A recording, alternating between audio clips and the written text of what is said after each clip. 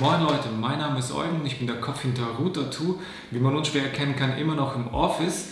Ich bin gerade dabei, ein bisschen zu recherchieren und dabei kam mir eine neue Videoidee. Und zwar schaue ich mir immer gerne die Historie von Marken an. Das heißt, wenn ich eine neue Brand auf den Schirm geholt habe, gucke ich immer mal so ja, die Anfangszeiten der Brand an. Vor allem auch so, wie die Entwicklung war. Und heute wollte ich das Ganze mal mit euch zusammen machen. Ihr wisst natürlich durch den Titel, um welche Brand es sich handelt, Represent. Und zwar habe ich schon vor einer ganzen Weile mir das Ganze mal so ein bisschen angeschaut. Wir haben die Jungs angefangen, was waren so die ersten Kollektionen. Und heute dachte ich mal, machen wir es zusammen. Ich habe im Internet die Möglichkeit, ja, nicht alles zu sehen, aber zumindest so ein bisschen was aus den Internetarchiven rauszukrammen. Und das habe ich schon mal so ein bisschen vorbereitet. Und ich würde sagen, wir gehen da so ein bisschen zusammen durch. Also, auf geht's. Eine Sache noch vorab, ich habe hier gerade äh, was äh, liegen und das wollte ich euch natürlich noch schnell mal zeigen. Und zwar bin ich ja gerade dabei, die Racing-Kollektion fertig zu machen. Das ist Nummer 5. Die wird in den nächsten Wochen erscheinen. Einige, die mich auf Instagram verfolgen, haben vielleicht schon in den Stories so ein bisschen was ja, äh, gesehen. Und hier habe ich gerade ein, ein Andruck liegen von einem der Designs. Wird auf jeden Fall richtig, richtig nice. Und wichtig zu wissen, die ganzen Pieces kommen auf die neuen Schnitte. Das heißt, 2020 gab es wieder ein neues Update. Das heißt, T-Shirts, Hoodies etc. Auch der Sweater hier ist eine komplett neue Version. Ähm, dazu gibt es aber später auf jeden Fall noch ein Video. Und ich würde sagen, wir machen das Fenster wieder von mir ein bisschen klein und ich schalte euch auf den Bildschirm. Und jetzt legen wir los. Okay, fangen wir an. Ähm, die erste Aufzeichnung, die ich im Internet gefunden habe, war Mai 2011. Ähm, ich glaube, da war vielleicht auch sogar der Launch. Die Daten, die ich hier nenne, das ist wirklich das, was ich so grob rausfinden konnte. Es wird vielleicht nicht hundertprozentig hinhauen, aber ich denke mal, grob können wir schon das Ganze gut eingrenzen vom zeitlichen Ablauf. Ähm, hier fehlen auch natürlich ein paar Bilder. Man hat nicht alles ja, so rausholen können, aber ein paar Sachen sehen wir auf jeden Fall schon mal. Ich habe auch ein paar Screenshots gemacht von Sachen und ja, lasst uns das Ganze einfach mal durchgehen. Also Mai 2011 war so die erste Aufzeichnung, die ich von Represent gefunden habe. Da sehen wir auch schon das Logo so ein bisschen. Und ähm, wir haben jetzt leider keine Bilder zu der Kollektion oder wie die ganzen Sachen aussehen, aber ich habe aus Interviews von den Jungs gehört, dass sie auf jeden Fall auf Merchandising-Sachen ja, gedruckt haben, Gilden ähm, und sowas wurde auf jeden Fall da oder ist da auf jeden Fall zum Einsatz gekommen. Wenn wir auch die Preise angucken von Represent, die ersten T-Shirts waren wirklich so 13,99, also Pfund in dem Fall, also relativ günstig im Vergleich zu dem, was, ja, was, was wir jetzt von den Jungs kennen. Ähm, ich habe auch gleich ein paar Screenshots vorbereitet. Das ist jetzt zum Beispiel ein Screenshot aus August 2013. Da sehen wir unter anderem natürlich so ein bisschen den Seitenaufbau und auch schon so das erste Piece im Einsatz. Und zwar ist es hier rechts bei dem jungen Herrn, ich versuche mal ein bisschen ranzuzoomen, da haben wir schon so das erste Piece von Represent. Relativ simpel, logolastig das Ganze. Und ja, das war so das erste Piece, was ich zumindest so im Internet gefunden habe. Ich habe natürlich auch ein paar Screenshots gefunden das war so der erste Aufbau der Homepage von den Jungs. Ich überlege die ganze Zeit, wie meine Seite 2011 aussah. Ich glaube 2011 hatten wir noch gar keinen Launch, 2012 ungefähr. Suche ich aber, wenn ihr wollt, auf jeden Fall auch mal ähm, aus der Root-Historie mal ein paar Sachen raus. Dann können wir vielleicht selber auch nochmal mit Router-Tour machen, dass ich euch mal so ein bisschen durch die ja, Geschichte führe. Also 2011 sah ungefähr so die Homepage aus. Dann ähm, sehen wir auch hier, das ist immer noch 2011, mal ein anderes Piece von den Jungs, ist, ich würde mal sagen, rocklastig oder sehr, sehr bandlastig das ganze Marketing aufgezogen gehabt. Ähm, Represent abgekürzt, die Vokale rausgenommen. Ja, so sahen auf jeden Fall, glaube ich, schon die ersten Pieces aus. Ähm, hier habe ich auch mal ein T-Shirt ähm, gefunden, was die Jungs quasi ähm, ja, released hatten komplett anders, wie man es, glaube ich, gewohnt ist von den Jungs. Also, ja, es, man hat natürlich damals ganz anderen Look gehabt und eine Marke findet sich ja meistens. Was man hier aber schon sieht, ähm, dass die Jungs in USA quasi die T-Shirts eingekauft haben. Ich vermute mal, es war wirklich Merchandising. Gilden kommt ja aus USA und American Apparel. Kann sogar sein, dass sie hier American Apparel genommen haben. Ähm, 22 Pfund wurde das Ganze schon verkauft, also ein bisschen teurer und gedruckt haben sie es auf jeden Fall bei sich zu Hause in UK. Ähm, das war jetzt auch schon ein Piece, was ich noch gefunden habe, und zwar ein Sweater mit Represent, also optisch vom, vom Design her eine komplett andere Geschichte. Ich vermute auch, dass das Merchandising Pieces waren. Den Künstler werden wahrscheinlich alle von euch erkennen und kennen auch.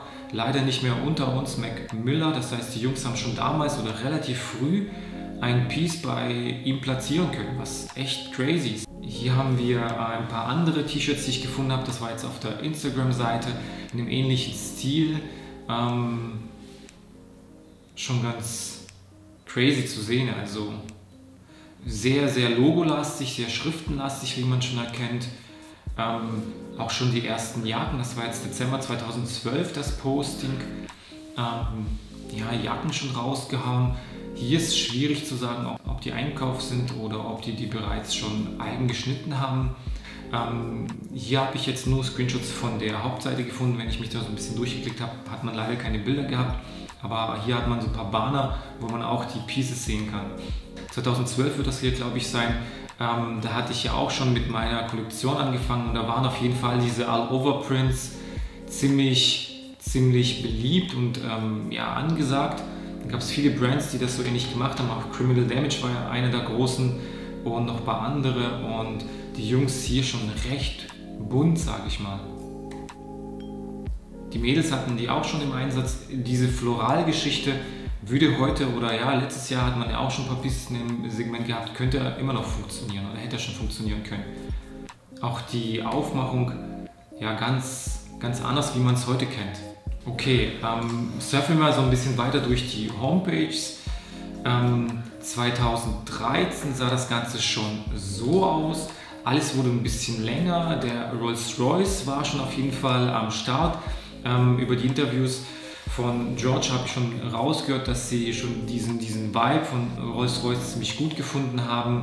Und ähm, diese Long-Geschichten, diese langen Dünge, diese schmal geschnittenen, langgezogenen Sachen waren damals auf jeden Fall richtig, richtig hyped. Und hier denke ich mal, haben sie schon auf jeden Fall viel Schnitte ja, entwickelt, weil das konnte man damals auf keinen Fall kaufen.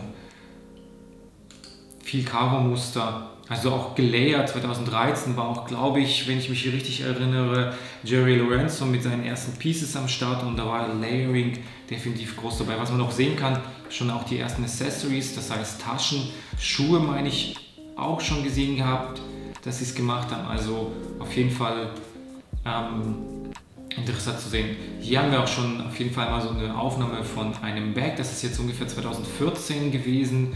Ähm, die Homepage sieht man auch wie der Aufbau sich verändert hat, ähm, Image-Video gemacht und da waren auf jeden Fall schon die Taschen am Start. Hier haben wir auf jeden Fall Schuhe. Ich weiß jetzt leider nicht, ob die Schuhe bereits von den Nukes waren, aber ich denke mal, so wie sie hier in Szene gesetzt werden, war das schon auf jeden Fall von den Nukes was dabei. Gold war auf jeden Fall am Start und natürlich immer noch gelayert und sehr, sehr lang gezogen. Aber die Bags waren schon am Start. Also es wie krass die T-Shirts früher lang waren. Also ich muss ehrlich sagen, bei Ruth da gab es auch lang geschnittene Pieces, aber nicht so lang. Also wir waren da deutlich, deutlich über den Knien und ähm, hier hat man schon gesehen, dass die Vibes recht, recht crazy, äh, schmal lang geschnitten waren. War halt aber damals auch so. Ähm, hier sind wir jetzt Februar 2014 ungefähr. Da sehen wir uns nochmal den Shop insgesamt. Und ähm, hier hatte ich Glück, dass ich viele Pieces mal so sehen kann, auch vor allem die Preise. Preislich sind die immer noch im recht entspannten Bereich gewesen. Die Basics waren bei 25 Pfund und alles sehr, sehr schmal geschnitten, sehr lang geschnitten. Die teuersten T-Shirts gehen hier auf 40 Pfund, 30. Also der Look hat sich natürlich damals der Zeit angepasst. Es ist aber auch immer so, dass die, die Brands sich natürlich dem Zeitgeist anpassen und immer, und immer mehr ihren eigenen Look entwickeln. Und ähm, ja, so sahen die ersten Pieces aus. Also da gab es schon die Jeans. Ähm, das sind die ersten Jeans wahrscheinlich, die ich jetzt so gefunden habe. Jogger am Start, Beanies, Bags, Schlüsselanhänger, Socken waren auch schon am Start. Auf jeden Fall auch preislich noch relativ entspannt, sage ich mal. Okay, ähm, der Shop wird immer, immer, immer feiner, immer, immer nicer und die Bilder werden immer besser, wie ich finde. Das ist jetzt äh, auch schon richtig, richtig geil gemacht. Immer noch relativ lang geschnittene Longsleeves T-Shirts. Die Jeans sind, glaube ich, bis heute noch vom Schnitt her sehr, sehr ähnlich. Ähm, Dezember 2014 sind wir ungefähr jetzt hier, dann haben wir schon so die ersten Bomberjacken zu sehen. Die T-Shirts deutlich kürzer geworden. Der Look jetzt schon so ziemlich, ziemlich nice. Es ist ungefähr der Zeitraum, wo ich auch die Marke kennengelernt habe. Und hier finde ich schon, sieht das Ganze schon auf jeden Fall, passt schon viel mehr in den Look, den die Jungs jetzt fahren, beziehungsweise auch könnte man es heute noch richtig gut rocken. Ja, auf jeden Fall. Okay, hier befinden wir uns schon in 2015. Die Sachen immer noch gut am Layern, Zipper an den Seiten, das war auf jeden Fall so die Zeit, wo jeder Zipper dran gemacht hat.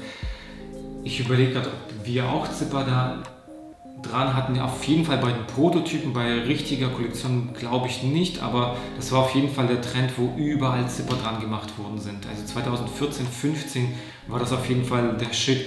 Jeder hat Zipper an die Seiten gemacht. Das war aber auf jeden Fall so ein Ding von Fear of God, wo Jerry Lorenzo die Cuts an den Seiten gemacht hat, ähm, mit Zipper und so weiter. Und äh, Represent hat es natürlich genauso auf dem Schirm gehabt. 2015 auch hier auf jeden Fall noch äh, die Biker Jeans. Und hier haben wir schon ein paar Sachen mehr gefunden. Und zwar haben wir hier ähm, Bomberjacken und definitiv viel Schwarz dabei. Also Bomber Jackets waren auf jeden Fall am Start. Ähm, Zipper immer noch relativ lang geschnitten das Ganze. Und Leggings. Also die Leggings, also da war ich auf jeden Fall safe, sowas von raus. Ähm, ich weiß, dass das auf jeden Fall sehr, sehr trendig war. Ein paar habe ich auch auf jeden Fall gesehen, aber für mich war das Ganze einfach so weit weg und die Jungs aber auf jeden Fall durchgerockt. Also das war schon so der nächste Step. Also 40 Pfund die Leggings und Longsleeves 60, 150 die Bomberjacken, der Hoodie auch schon 150. Also sind die Preise definitiv schon ein bisschen höher gegangen und ähm, Shorts Bomberjacken 125. Also heute sind sie auf jeden Fall deutlich teurer. Hier haben wir auf jeden Fall schon ein paar Sachen zu sehen, wie die Jeans, die auf jeden Fall am Start sind. 90 noch damals gewesen, jetzt sind sie auch ein bisschen teurer geworden. Man erkennt aber auf jeden Fall schon so, ja, so die, die Jeans, die die Jungs damals gut gerockt haben. Longsleeve immer noch sehr, sehr lang. Und auch hier diese, diese gestreiften Sachen, die waren so krass im Kommen. Also jeder hat gestreifte äh, Shirts und Longsleeves gemacht. Das war auf jeden Fall einer der Zeiten. Hier haben wir Bomber, die auf jeden Fall safe von Fear of God ähm, ja, inspiriert worden sind. Das waren auf jeden Fall Fear of God, Kanye-Vibes drin, Jerry Lorenzo. Und zwar dieser Ärmel, der so quasi ja, so geriffelt ist. Und zwar ist es wie so eine Art Wasserfall. Man hat das mit einem Gummi gelöst. Der hat dann den Stoff so ein bisschen zusammengezogen und hat einen coolen Look gegeben. Finde ich heute immer noch ganz nice und ähm, waren damals überall zu sehen. Hier natürlich noch Bomberjacken in etwas länger. Das heißt, manche haben sich auch gewagt und haben gesagt, komm, wir machen auch die Bomberjacken an. Habe ich persönlich nicht gefeiert. Also fühlte ich überhaupt nicht, aber war auf jeden Fall in der Zeit auch bei Zara zu kaufen. Hier haben wir auch schon wieder zu sehen, dass die Jungs auch Bags gemacht haben. Ähm, Duffelbags und Backpacks, 180, 125 Pfund und ähm, Cardholder dabei, preislich noch entspannt und Schlüsselbänder, also auch da schon gut Accessories am Start gehabt. Ähm, auf jeden Fall cool zu sehen, wo das Ganze quasi so hergekommen ist. Ähm, die Jacket hier auf jeden Fall cool zu sehen, also die würde heute noch safe funktionieren, gut gelayert, Hoodie ganz geil. Es war auch auf jeden Fall diese Zeit, wo ja, so diese Sandfarben losgegangen sind. Hier habe ich eine Seite gefunden noch, wo wir ein Produkt nochmal einsehen können. Ähm, der Hoodie sieht auf jeden Fall richtig, richtig cool aus, würde heute noch funktionieren. Gedroppte Schultern, ähm, Nähte zum Teil nach außen gelegt. Das war auf jeden Fall für Represent so ein Merkmal, wo die viel Energie reingesteckt haben in den Schnitt. Wenn man hier auch so die, ähm, die Bauchtasche beachtet, wie, wie hoch die geschnitten ist. Und ähm, war auf jeden Fall schon ein spezieller Cut. Und 80 Pfund, ja, kann man machen. Also die, die Bauchtasche auf jeden Fall echt crazy hochgedreht. Das war jetzt 2015, Juli ungefähr, wo das Ganze so zum, ja, im, im Einsatz war. Okay, kommen wir auch schon weiter. Hier haben wir noch mehr Pieces zu sehen und zwar habe ich jetzt noch so eine Shopseite gefunden, da sind wir 2015. Ich zoome mal hier so ein bisschen ran, weil der Shop ist jetzt leider nicht komplett verfügbar, aber wir können zumindest die Produkte sehen und immer noch viel am Layern, viel Bomberjacken, die waren ja dann einfach da und konnte man sich nicht denken, in verschiedensten Formen. Hoodies teilweise ganz, ganz krass immer noch am Start und immer noch viel am Layern. Also hier kriegt man auf jeden Fall so die Fear of God Kanye-Vibes, Jerry Lorenzo-Vibes komplett ähm, ja, zu sehen. Ich nenne jetzt einmal nur diese großen, weil sie auf jeden Fall sehr ja, markant in dem Segment quasi waren und ähm, schon, schon diesen, diesen Grundlook so ein bisschen vorgelegt haben. Das ist auf jeden Fall äh, richtig, richtig cool zu sehen. Wir scrollen mal so einmal mal so ein bisschen durch und gucken uns das Ganze mal so an, was es so gab.